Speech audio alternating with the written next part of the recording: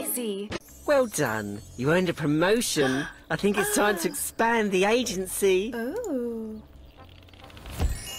Oh, very nice. Time to unlock your first personality trait. This will increase the detail of your customer profiles. You'll be able to make better matches and predict how people will react in certain dating dilemmas. Well, that's good. However, candidates in the Black Book won't reveal their information until you ask them about it. Oh no. Unlock a personality trait. Um, hmm. How about social? I feel like that would be a really good trait to have in the dating game. I'm always keen to know if my date is a team player or a lone wolf. Hmm, okay. Let's do another date for this episode, and hopefully it'll go just as well as the first, the first second date. Hmm. Oh, hello, sir. I'm Mackenzie. I'm a door-to-door salesperson, and I'm looking for a man. So your name is Mackenzie. I didn't know that was a gentleman's name. You're a door-to-door salesman. You're a Libra. You like brown eyes and black hair.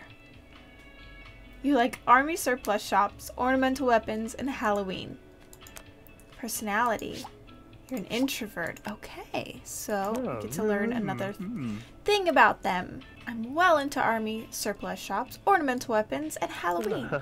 And I live for brown eyes and black ah. hair. I reckon myself to be an ah. introvert. Can you find me my dream date? I'm sure they're a geeky type. Bless. Clients with the blue globe symbol are other players' avatars. Oh. Sending them on a date will get you a coin bonus. You might even recognize one of your friends. Oh, that's cool. So these are like real people. Uh-oh, nobody has black hair. Can I ask? It's secret. Ornamental weapons. They both like Halloween. What's... Oh, train spotting. Lee Nickerwine. Robert Flemworth. Oh, they're not... Nope, not Robert. Unsuitable because she's a lady. I don't know anything about horoscopes, so this doesn't always work for me. He's a gopher. What? Okay, I feel like these two might be the best match. He likes green eyes. He has green eyes. He likes brown eyes. He has brown eyes. The hair's not the same, but we're gonna go for it.